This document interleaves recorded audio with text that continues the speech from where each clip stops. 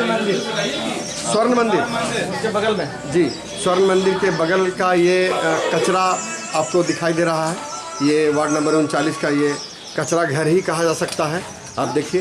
यहाँ से और फैल रहा है पूरे मोहल्ले में। बरसात में जब ये पानी से भीग जाती होगी तो फिर यही कचरा यहाँ की नालियों को भर देती होगी।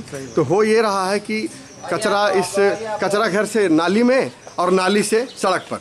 यही यहाँ कार्यक्रम चल रहा होगा ऐसा लगता है। और ये देखिए जैसा कि लोग यहाँ कहते हैं डेंगू की भी शिकायत पिछले साल। जी। सारा गंदगी ये उठता ही नहीं है क्या? जी। जी। ये उठता ही नहीं है। उधर उधर लीजिए उधर लीजिए। ये यहाँ पे सफ़ाई होती है? लीजिए देखिए कैसे लोग उठा करके आ रहे हैं देखिए। लोग यहाँ पे देखिए कैसे इस तंग गली में भी इस जब सफ़ाई नहीं है तो कैसे चलने को बाध्य है?